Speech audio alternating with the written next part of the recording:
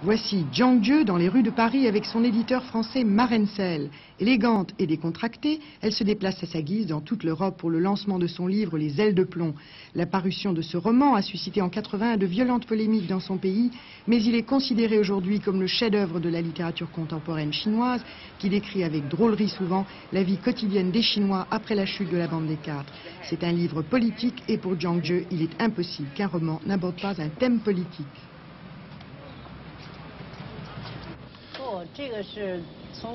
D'un point de vue objectif, c'est une chose impossible.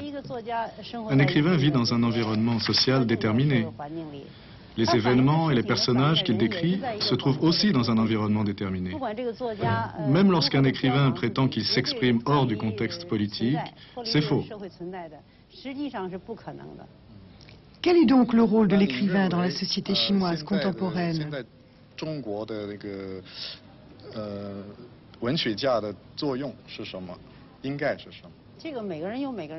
Chacun a son idée là-dessus. Je ne peux pas parler pour les autres.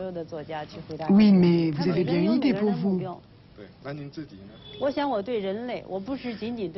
Je pense que j'ai un rôle à jouer dans le progrès de l'humanité, et pas seulement dans celui de la Chine. Est-ce que vous vous considérez comme un écrivain officiel ou comme un écrivain dissident ou bien ni l'un ni l'autre Je suis un écrivain du peuple.